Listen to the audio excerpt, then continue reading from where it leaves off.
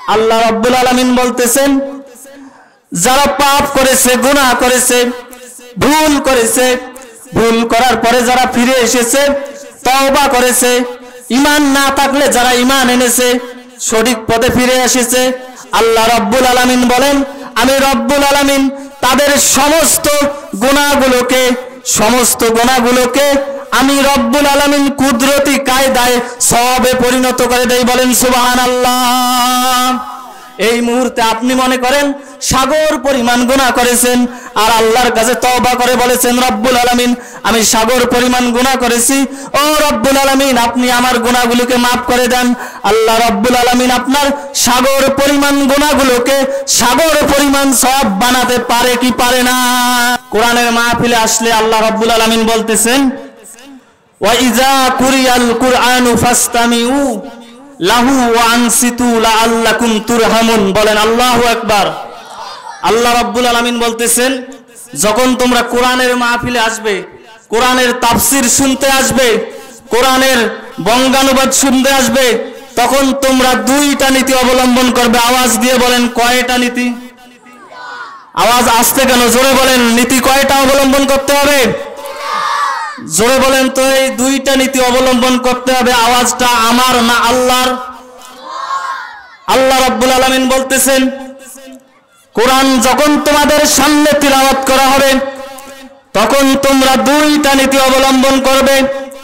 আল্লাহ রাব্বুল আলামিন বলতেছেন, প্রথম নাম্বার নীতি হচ্ছে, ফাস্তামিউ, তোমরা কোরআন শুনো। এই যে কোরআন শুনতে হবে, বলেন তো বলেন তো দাদা ভাই হুকুম টাকার দুই নম্বরে আল্লাহ রাব্বুল আলামিন বলতেছেন, ও আনসিতু কোরআনের মাহফিলে এসে তোমরা চুপ করে কোরআনের আলোচনা শুনবে। এখন বলেন তো দেখি চুপ করে কোরআনের আলোচনা শুনতে হবে, এই অর্ডারটা কার? তাহলে আমরা এসেছি কোরআনের মাহফিলে। কোরআনের মাহফিলে আসলে আমাদেরকে অবশ্যই অবশ্যই দুইটা নীতি অবলম্বন করতে হবে। হুকুমটা কার? আবার কাফেরদের নীতি হচ্ছে দুইটা। যখন তারা কোরআনের তেলাওয়াত শুনতে যাবে, তখন তারা তাদের নীতি হচ্ছে, লা তাসমাউ, তোমরা কোরআন শ্রবণ করবে না। ওয়াল গাউফি, এবং কোরআনের মাহফিলে এসে হট্টগোল বাদিয়ে দেবে। এটা হচ্ছে কাফেরদের নীতি, জোরে বলেন কাদের নীতি? আর কাফেররা মনে করে যে এভাবেই তারা বিজয়ী হতে পারবে, কিন্তু আসলে তারা কখনো বিজয়ী হতে পারবে না। বলেন তো কে বলেছেন? সম্মানিত ভাইরা আমার লম্বা চৌড়া ভূমিকা আমি আর বাড়াবো না। সরাসরি আমি আপনাদের সামনে একটা আয়াতে কারিমা তেলাওয়াত করেছি। আল্লাহ রব্বুল আলামিন সূরাতুল ফাতির আওয়াজ দিয়ে বলেন, কোন সূরা? সূরাতুল ফাতির 32 নম্বর আয়াত থেকে আমি তেলাওয়াত করেছি। আল্লাহ রব্বুল আলামিন অত্র আয়াতে কারিমার মধ্যে মুসলমানদের তিনটা জাতের কথা বলেছেন। আওয়াজ দিয়ে বলেন, কয়টা? আল্লাহ রাব্বুল আলামিন বলতেছেন, সুম্মা আওরাসনাল কিতাবাল্লাযিনা ইসতাফাইনা আল্লাহ রাব্বুল আলামিন বলতেছেন, আমি এই কিতাবীদেরকে তিনটা ভাগে বিভক্ত করেছি। আওয়াজ দিয়ে বলেন, কয়টা? আল্লাহ রাব্বুল আলামিন বলতেছেন, প্রথম নাম্বার জাতের মুসলমান হচ্ছে, ফামিনহুম জালিমুল লিনাফসিহি যারা নিজেরা নিজেদের উপর জুলুম করেছে বলেন না নাউজুবিল্লাহ। এখন বলেন তো দেখি আমাদের সমাজের মধ্যে জুলুমকারী মুসলমানের সংখ্যা কম না বেশি? জোরে বলেন, কম না বেশি? জুলুমকারী মুসলমানদের সংখ্যা বেশি। বলে, পানিত নাম লিখে। আমি তো পানিত নামি নাই। পানিত যদি নাই নামিস, তাইলে তোর বাপে পানি গোলা করছে। আমার বাপও তো নামে নাই। তাইলে তোর দাদায় পানি গোলা করছে বলেন, নাউজুবিল্লাহ। এইভাবে জুলুম করে কথা বলেন ঠিক কিনা? আমার ভাইরা, আমার বন্ধুগণ, গভীর মনোযোগ আকর্ষণ করেন। ইমামে আজম হাবু হানিফা রহমাতুল্লাহ আলাই জোরে বলেন, নাম শুনছেন কি শুনেন নাই? যিনি বলেন, ইমাম আল আইম্মা ইমামদের বাতি। যিনি হচ্ছেন ইমামে আজম, ইমামদের নেতা বলেন সুবহান আল্লাহ ইমামে আজম আবু হানিফা রহমতুল্লাহ আলাইয়ের সময়ের সেই সময়ের শাসনকর্তা ছিলেন আবুল মনসুর। জোরে বলেন, নাম কি? আবুল মনসুর, ইমামে আজম আবু হানিফা রহমতুল্লাহ আলাই। সেই সময়ের জবরদস্ত একজন আলেম ছিলেন, সেই সময়ের একজন তাবি ছিলেন, জবরদস্ত একজন খ্যাতনামা ফকি ছিলেন। বলেন সুবাহান আল্লাহ আবুল মনসুর তাকে প্রধান বিচারপতির কার্যে যখন দাঁড় করালেন, বললেন, তুমি প্রধান বিচারপতির দায়িত্ব নাও ইমামে আজম আবু হানিফা রহমতুল্লাহ আলাই নাকচ করে দিলেন। তিনি সেটা গ্রহণ করলেন না। এবার আবুল মনসুর তার উপরতে নির্যাতন শুরু করলেন। তাহলে এখন বলেন তো দেখি, যে নির্যাতন করেছে, সেও মুসলমান, আবুল মনসুর মুসলমান। আবার যার প্রতি নির্যাতন করা হয়েছে, জুলুম করে বিষ প্রয়োগ করে বেড়ে ফেলা হয়েছে, সেও মুসলমান। এখন বলেন তো দেখি, আল্লাহর কাছে দুই মুসলমানের পার্থক্য আছে না নাই? তাহলে আমরা কোন জাতের মুসলমান? এরপরে আল্লাহ রব্বুল আলমিন বলতেছেন যে দুই নম্বর জাতের মুসলমান হচ্ছে আল্লাহ রব্বুল আলমিন বলতেছেন আমিন হুম মুক্তাসিদ। এরা হচ্ছে মধ্যমপন্থী মুসলমান, এই দিকেও আছে, ওই দিকেও আছে। তেল তেল আমারকা মুসলমান, সুবিধাবাদী মুসলমান, নামাজের জন্য ডাকবেন যাবে। জিকির করার জন্য ডাকবেন যাবে, মিলাদ পড়ার জন্য ডাকবেন যাবে, কিন্তু যখন বলা হবে নবীর বিরুদ্ধে কথা বলেছে, এর প্রতিবাদ করার জন্য আমরা যাব, তখন বলে এই রকম কঠিন কাজের মধ্যে আমি যাব না। এই রকম মুসলমান, তেল তেলা মুসলমান আমাদের সমাজের মধ্যে আছে না নাই? আওয়াজ তো আসতে কেন? জোরে বলেন, আছে না নাই? এরপরে আল্লাহ রব্বুল আলমিন বলতেছেন আর এক জাতের মুসলমান আছে। আল্লাহ রব্বুল আলমিন বলতেছেন, এই জাতের মুসলমান আল্লাহ রব্বুল আলমিনের ইবাদত বন্দীগীতে সবচেয়ে বেশি আগ্রহী। জালিকা হুয়াল ফাদলুল কাবীর। বলেন আল্লাহু আকবার। আল্লাহ রব্বুল আলমিন বলতেছেন, এদেরকে আল্লাহ রব্বুল আলমিন সবচেয়ে বেশি অনুগ্রহ দিয়েছেন, বলেন সুবাহান আল্লাহ তাহলে আমরা এসেছি কোরআনের মাহফিল।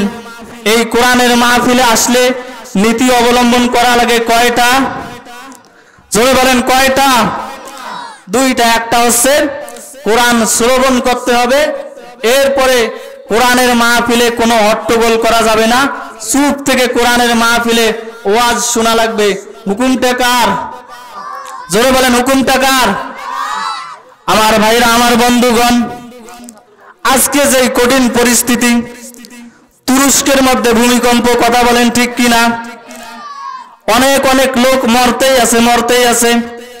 আমার ভাইরা, আমার বন্ধুগণ, এখন পর্যন্ত আমাদেরকে ফিরে আসা লাগবে কি লাগবে না? এই যে গজবগুলো আসে, এই গজবগুলো আমাদের কারণেই, জোরে বলেন, কার কারণে আমাদের কারণেই।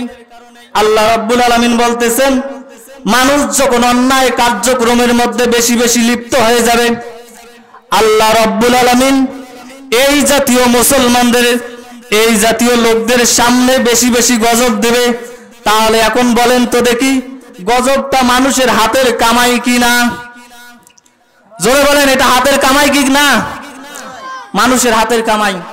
এই জন্য আমাদের এখন পর্যন্ত আমাদেরকে তওবা করে ফিরে আসতে হবে। জোরে বলেন, কার পথে? আল্লাহর পথে তওবা করে ফিরে ফিরে আসতে হবে। আল্লাহ রাব্বুল আলামিন বলতেছেন, ইল্লা মান তাবা ওয়া আমানা ওয়া আমিলা আমালান সলিহান, ফাউলাইকা ইউবাদদিলুল্লাহু সাইয়্যাতিহিম হাসানাত, ওয়া কানা আল্লাহু গফুর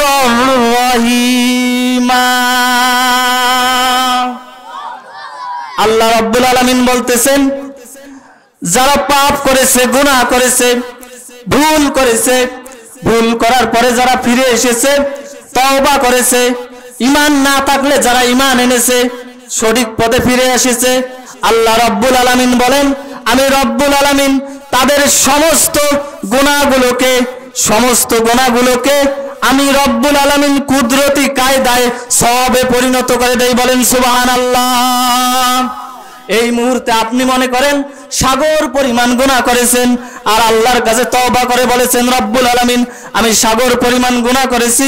ও রব্বুল আলামিন, আপনি আমার গুনাহগুলোকে মাফ করে দেন। আল্লাহ রব্বুল আলামিন আপনার সাগর পরিমাণ গুণাগুলোকে সাগর পরিমাণ সব বানাতে পারে কি পারে না? এই মুহূর্তে আপনি মনে করেন পাহাড় পরিমাণ গুণা করেছেন, আর আল্লাহর কাছে চোখের পানি ছেড়ে দিয়ে বলেছেন, রব্বুল আলমিন, আমি ভুল করেছি, অন্যায় করেছি, পাপ করেছি, জুলুম করেছি। আল্লাহ রব্বুল আলমিন আপনার পাহাড় পরিমাণ গুণাগুলোকে মাফ করতে পারবেন কি পারবেন না? সেই আল্লাহ এখন আছে না নাই? জোরে বলেন, আল্লাহ আছে না নাই? তাহলে ভুল করার পরে, পাপ করার পরে সরল পথে ফিরে আসলে আমাদেরকে মাফ করে দেবেন কে? হুজুরে আকরাম সাল্লাল্লাহু আলাইহি সাল্লামের সাহাবী হযরতে আবু হুরায়রা রাদিয়াল্লাহু তাআলা আনহু জোরে বলেন, কি নাম? হযরতে আবু হুরায়রা রাদিয়াল্লাহু তাআলা আনহু ইশার নামাজ পড়েছেন, নামাজ পড়ার পরে বাড়িতে ফিরে এসেছেন, বাড়িতে যখন ফিরে এসেছেন, বাড়িতে এসে দেখতেছেন একজন মহিলা, এবার আবু হুরায়রা রাদিয়াল্লাহু তাআলা আনহু তাকে সালাম দিয়েছেন সালামের জবাব দিয়েছেন। এবার বলেছেন, মহিলা, ব্যাপার কি? তুমি আমি, তুমি আমার ঘরের সামনে এসেছ, ব্যাপার কি? হযরত আবু আনহু যখন এই প্রশ্ন করলেন, মহিলা বলতেছেন, আবু হুরায়রা, আমি তো ভুল করেছি, পাপ করেছি। এবার আবু হুরায়রা বললেন, ও মহিলা, তুমি কি পাপ করেছ? আবু হুরায়রা রাদিয়াল্লাহু তাআলা আনহু যখন এই কথা বললেন, মহিলা বলতেছেন, ও হুজুর, আমি তো দুইটা বড় বড় পাপ করেছি। আওয়াজ দিয়ে বলেন, কয়টা? দুইটা পাপ করেছি। প্রথম নাম্বার ভুল হচ্ছে, আমি জেনা করেছি, জোরে বলেন কি করেছি? জেনা করেছি। দুই নম্বর ভুল হচ্ছে, জেনা করার পরে যেই সন্তান আমার গর্ভে এসেছিল, সন্তান জন্মগ্রহণ করেছে, এই সন্তানকে আমি নিজ হাতে হত্যা করেছি বলেন নাউজুবিল্লাহ। আবু হুরায়রা রাদিয়াল্লাহু তাআলা আনহু মহিলাকে বললেন ও মহিলা যেই ভুল তুমি করেছ এই ভুল তো আল্লাহ কখনোই মাফ করবেন না। আর আবু রাদিয়াল্লাহু তাআলা আনহু সেই জায়গার মধ্যে বসে রইলেন। আমার নবী, প্রিয় নবী সাল্লাল্লাহু অনেকক্ষণ থাকার পরে বলতেছেন, ও আবু হুরায়রা, নামাজ শেষ হয়ে গিয়েছে, তাসবিহ তাহলিল শেষ হয়ে গিয়েছে। আবু হুরায়রা, ব্যাপার কি তুমি বাড়ি যাচ্ছ না? ব্যাপার কি? ব্যাপার কি আবু হুরায়রা? আবু হুরায়রা রাদিয়াল্লাহু তাআলা আনহু এবার বললেন, ইয়া রাসূলুল্লাহ, ইয়া হাবিবাল্লাহ গত রাত্রে আমি ঈশার নামাজ পড়ার পরে যখন বাড়িতে গিয়েছিলাম, বাড়িতে যখন গিয়েছিলাম, বাড়িতে যাওয়ার পরে একজন মহিলা আমাকে বলেছে, দুইটা পাপ করেছে, জোরে বলেন কয়টা? আওয়াজ আসতে কেন? জোরে বলেন কয়টা? দুইটা পাপ করেছেন। এবার আবু হুরাইরা বিশ্ব নবীকে বললেন, ইয়া রসুল্লাহ ইয়া হাবিবাল্লাহ, প্রথম নম্বর পাপ হচ্ছে সে জেনা করেছে, জোরে বলেন কি করেছে? জেনা করেছে। দ্বিতীয় নম্বর পাপ হচ্ছে জেনা করার পরে যেই সন্তান জন্মগ্রহণ করেছে, এই সন্তানের পরিচয় কে বহন করবে? এর পরিচয় কে দিবে? এই জন্য নিজের সন্তানকে নিজে গলা টিপে হত্যা করেছে বলেন, নাউজুবিল্লাহ। আমার নবী, প্রিয় নবী হুজুর আকরাম সাল্লাল্লাহু আলাইহি ওয়াসাল্লাম যখন এই কথা শুনলেন, এবার আমার নবী আবু হুরায়রার দিকে সে বলতেছেন ও আবু হুরায়রা, গতকালকে আল্লাহ রাব্বুল আলামিন আমাকে আয়াতে কারিমা তেলাওয়াত করেছেন। আল্লাহ রাব্বুল আলামিন বলেন, ইল্লা মান তাবা ওয়া আমানা ওয়া আমিলা আমালান সলিহান, ফাউলাইকা ইউবাদদিলুল্লাহু সাইয়্যাতিহিম হাসানাত, ওয়া কানা আল্লাহু গফুরুর রহিমা, বলেন আল্লাহ আকবর।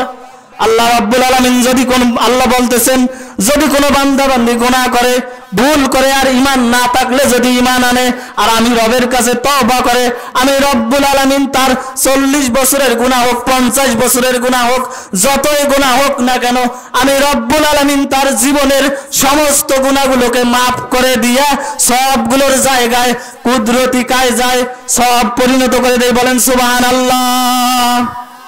তাহলে আমরা তওবা করতে রাজি আসি না নাই? জোরে বলেন, রাজি আসি না নাই? সম্মানিত উপস্থিতি, সময় খুবই সংক্ষিপ্ত। এই আলোচনার মধ্যে আল্লাহ রাব্বুল আলামিন, আমি আপনাদের সামনে যে আয়াতে কারিমা থেকে তেলাওয়াত করেছিলাম, আল্লাহ তালা আমাকে যা বলালেন এবং আপনারা যা শুনলেন, আল্লাহ রাব্বুল আলামিন আমাদের উভয়কে অত্র আয়াতে কারিমাগুলো থেকে ইবাদত করার তৌফিক দান করুক। বলেন আমিন। আরও জোরে বলেন আমিন। আমা আলাইনা ইল্লাল বালাদ। ওয়া আখির দাওয়ানা আনিল হামদুলিল্লাহি রাব্বিল আলামিন আসসালামু আলাইকুম ওয়া রাহমাতুল্লাহি তাআলা ওয়া বারাকাতুহু